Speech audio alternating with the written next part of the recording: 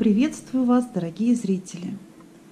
Сегодня я продолжу показ своих находок с блошиного рынка.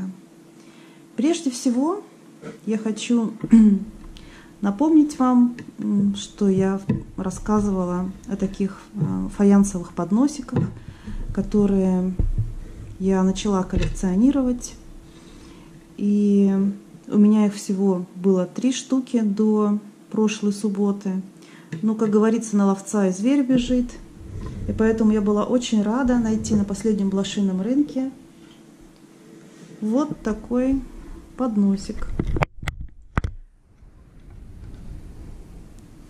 Это тоже фаянс, тоже 30-е годы. На обратной стороне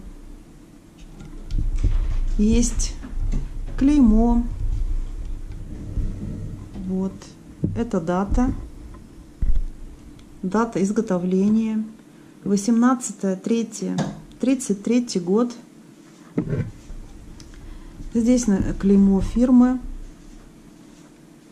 Я вижу здесь как гроздь винограда, но оно частично стерто и написано Germany. Номер или патента, или модели. Вот такое блюдо. Оно такое слегка молочного цвета. К сожалению, здесь есть немножко желтизны, но она как бы не портит общий вид вот этого красивого цветка, такого фантазийного. Ручки даже есть у этого блюда, и оно намного больше, в общем-то, этого, даже если сравнивать. Вот. Одно и второе. Ну, очень красивая вещь без дефектов, без всяких сколов и так далее, и так далее. И поверхность довольно-таки в хорошем состоянии. Поэтому я была очень-очень рада его приобрести. Вот, теперь у меня их четыре штуки все разные. Вот, и очень приятно, что я узнала, ну, поискала информацию, и действительно это на обратной стороне, вот это клеймо, это дата, дата изготовления, и э, это ручная роспись. На всех этих подносах это ручная э, роспись. Особый вид, он такой как бы слегка получается как бы немножко размытый, но это особый вид нанесения э, вот этого лака, который потом, которым покрывался этот фаянс и обжига. Вот. То есть это уже третий поднос моей коллекции. И я хотела показать еще один, который вы не видели. У меня просто на нем стояли кое-какие вещи. Сейчас их убрала и хочу показать вам. Вот такой поднос. Здесь очень красивый орнамент из скал с зелеными листьями. Вот такой. И на обратной стороне у нас стоит дата 11 5 30 30 год и вот такое клеймо фирмы BMF, Германия. Также номер модели или патента. Вот такая красота. Но я просто влюблена в эти подносы. Они мне очень нравятся. И я рада, что у меня их уже 4 штуки. Вот. Следующее, что я хочу показать вам, вот эту красивую вазочку. Вот, к вазочкам я питаю особую слабость. Вот, цветов много в доме не бывает. Ну и так же, как и вазочек. Вот. Эта вазочка, она не просто из красного стекла, а внутри, в ней, не знаю, видно это или нет, и тут как бы полосы из желтого или оранжевого стекла. И вот он как бы сам рисунок тоже идет такими полосочками, изгибами, с изгибами. На свет выглядит очень красиво. Это тоже вот он, ну, они выдутые, ручная это работа, или как это говорится. Ну, он вообще-то выдувается, ну, ручная работа. Я не знаю, где сделали эту вазочку, ну, предполагаю, что Чехословакия. Вот, купила эту вазочку одного продавца, отошла на соседнюю, на соседнюю улочку, и там я нашла вот эту вазочку. Вот. Стекло может быть чуть-чуть потемнее, чем у первой. Слегка. Но если присмотреться, то можно опять же увидеть тот же самый рисунок из полосочек. Вот, это опять же ручная работа.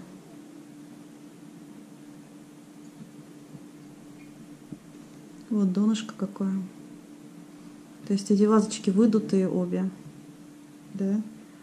Вот такие красавицы.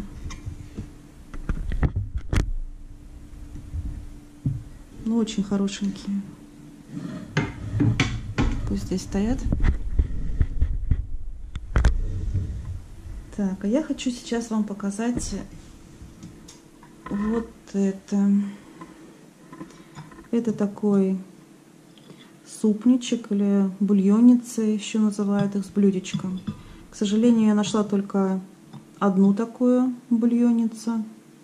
Там было еще много таких тарелочек, но, наверное, штуки три еще у этого продавца, но без пары. Поэтому тарелочки я оставила, не стала брать, потому что блюдец у меня уже очень много всяких разных.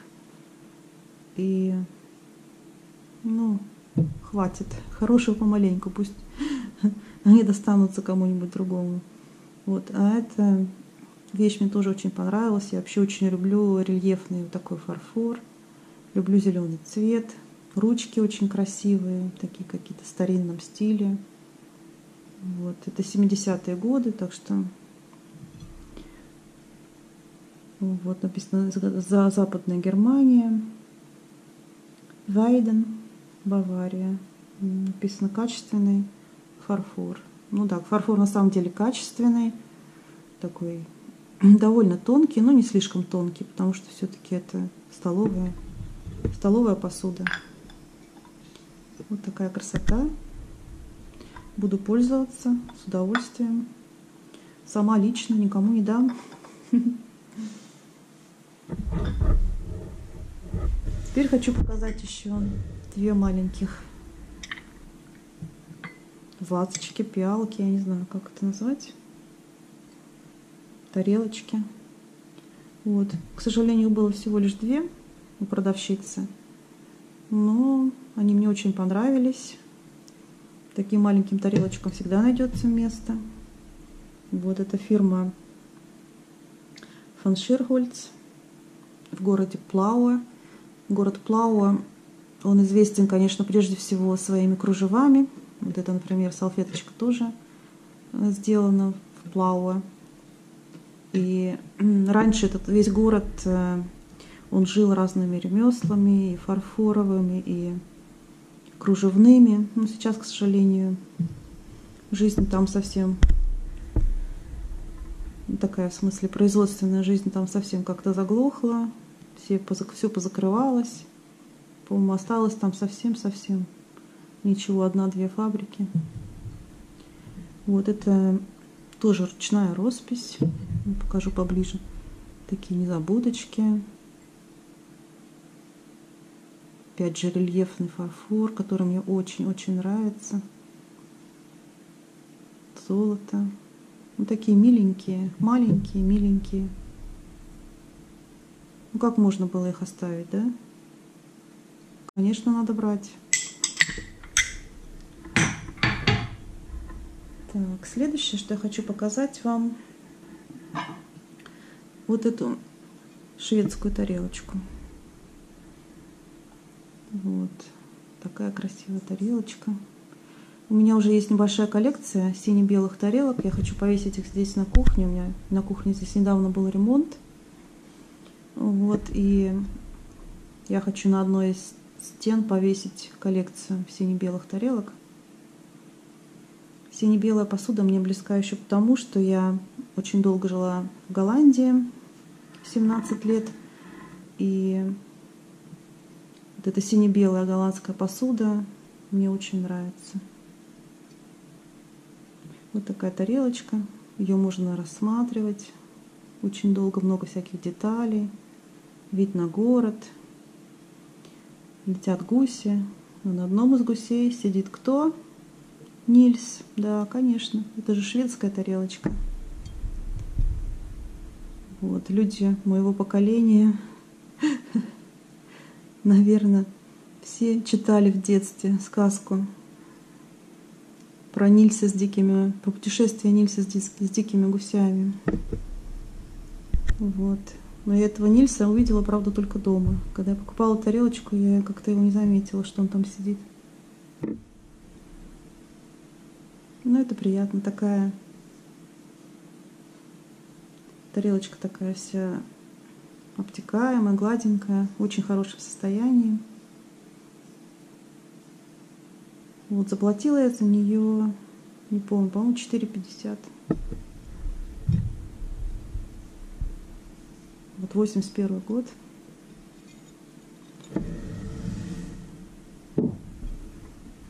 Теперь хочу показать вам несколько украшений, которые я купила. Все эти украшения, которые сейчас покажу, я купила одного продавца. И пока не забыла, сразу скажу, что я заплатила за них, все вместе, за них вместе 9 евро. Но это кому интересны цены. Я не всегда помню, особенно если вещи покупались полгода или год назад. Но то, что было в прошлую субботу, я еще помню, поэтому говорю вам. Сначала хочу показать вот эту брошь. Эту брошь, эта брошь маркирована, маркирована она буквами. И по этой аббревиатуре видно, что сделала ее известная косметическая фирма Ифраше. Вот. Ифраше очень часто предлагает своим клиентам подарки, э, своим клиентам, которые заказывают э, косметику онлайн. У меня у самой есть несколько украшений еще из 90-х годов. Я когда только приехала сюда, э, сюда, в смысле в Европу, Сначала в Голландии, а теперь вот я живу в Германии. Я сама очень часто заказывала продукты в Роше и получала в подарки то браслет, то часики, то брошь, то кулон. Они где-то у меня еще лежат, надо будет найти и показать вам.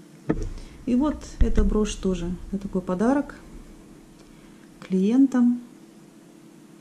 Я не знаю, каких годов э, эта брошь, но она очень приятная. В отличном состоянии. Нам не понравилось. Вот такой цветок.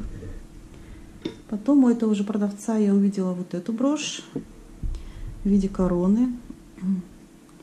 Я коллекционирую винтажную бижутерию совсем недавно. Где-то, наверное, только полгода назад мне стукнуло в голову, а почему бы, почему бы не начать собирать красивые броши и другие украшения. До этого, конечно, я спорадически покупала какие-то украшения, просто потому что они мне нравились, но без, э, без цели коллекционирования. Вот, а сейчас я уже покупаю украшения целенаправленно. И вот эту корону я купила.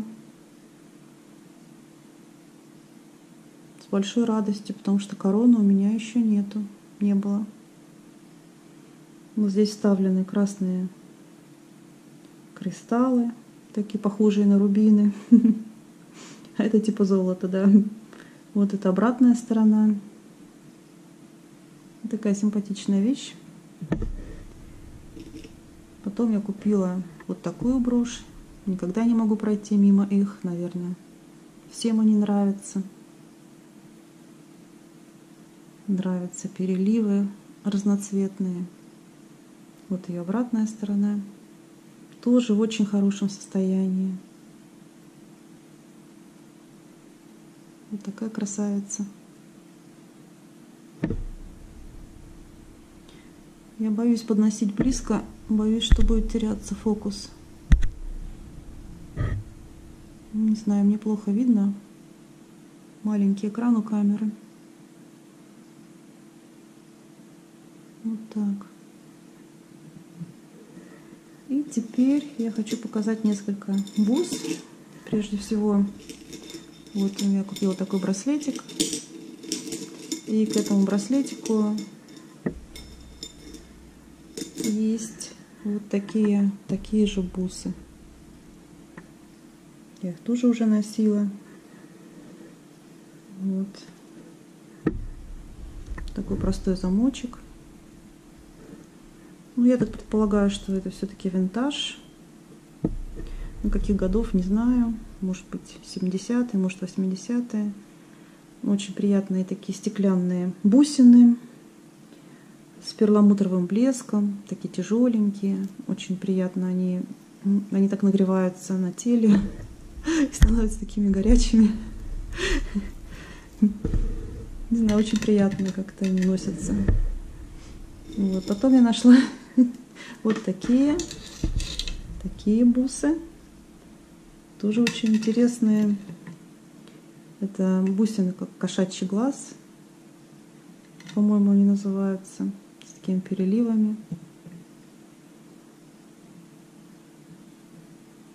Тоже симпатичная вещь. Мне нравятся синие кристаллы. Да, вообще все нравятся вообще-то. Все, что блестит. Такая интересная вещица.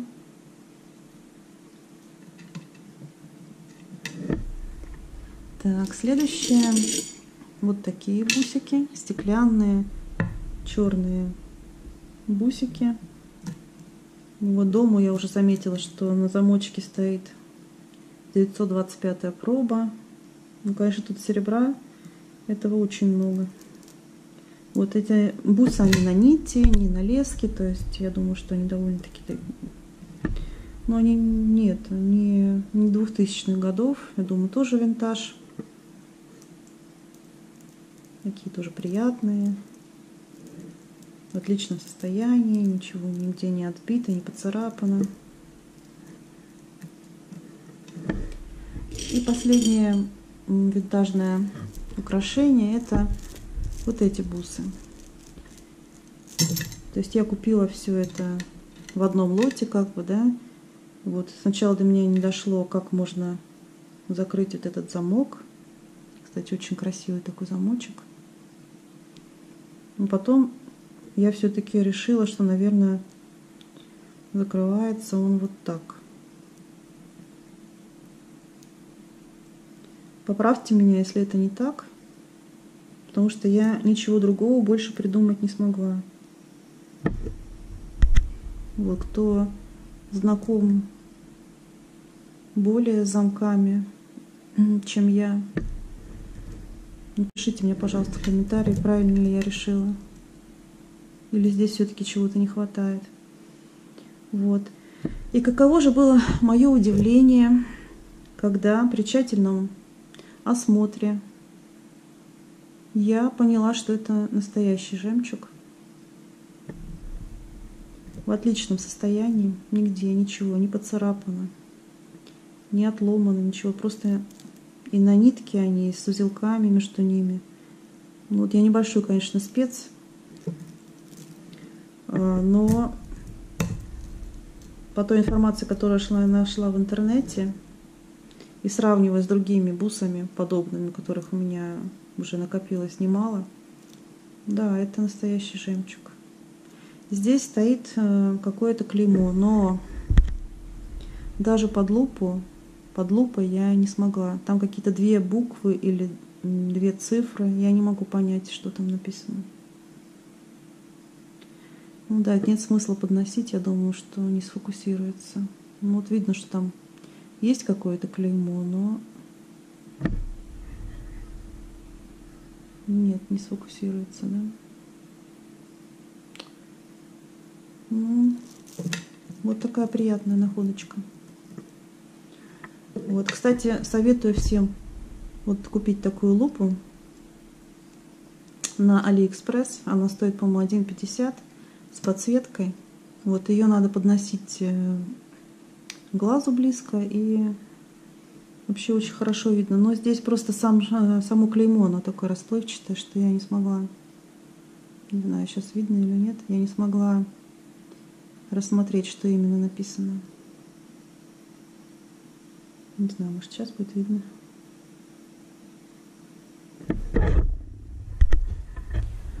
Ну вот. Очень удобно брать с собой. Правда, продавцы очень подозрительно смотрят на тебя, когда ты достаешь лупу, пытаешься что-то рассмотреть. Ну. Вот. На этом я хочу закончить свой обзор. Мне очень приятно, что вы меня смотрите. Вот. Впереди еще много интересного. Если вам понравилось мое видео, подписывайтесь на мой канал, ставьте пальчики вверх. Я буду очень рада. И до новых встреч!